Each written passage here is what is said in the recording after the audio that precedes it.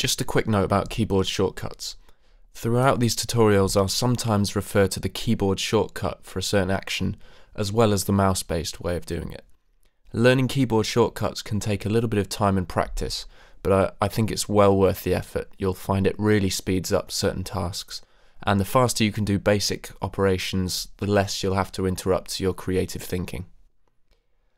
I'm going to be referring to the default keyboard commands during these tutorials, and by and large I've found these pretty well set up, and I've had few reasons to change them. However, if you'd like to customize any commands, you can do that.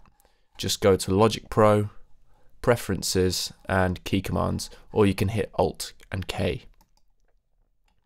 So here you can change any key command in Logic. There are hundreds of commands that can be assigned or reassigned to keyboard shortcuts, and you can browse them by opening these categories up. But you can also do a search. Say I wanted to change the shortcut to toggle the mixer panel. I can do a search for mixer, find the shortcut I'm looking for, and to change the command I'll have to select either learn by key label or learn by key position. Using this first option, the number 1 on the number pad will be treated the same as the number 1 above the letter Q. With the second option, those two keys will be treated differently based on their position. In practice, I always use learn by key label because I'm a bit dense and I can get confused. I'd advise you to do the same at least to start out with.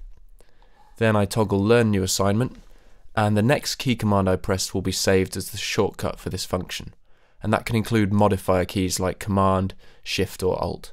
So I'll change it to Shift Command X. I'll toggle off Learn New Assignment and the key command is now changed. I'm going to change it back though because I like this command the way it is. You can export and import entire key command schemes using the options menu up here. If you're going to start making changes to your scheme, I'd advise you to make a backup of the original logic one first. Choose export and save it like as something like original logic. Of course, you can import custom key command setups as well, which is really useful if you're planning to work on someone else's computer for whatever reason. Anyway, I thought I'd make you aware of this capability, but I'd advise you to start out using Logic's default shortcuts at first, get a feel for them, and if there's anything you'd like to change down the line, you know how to do that now.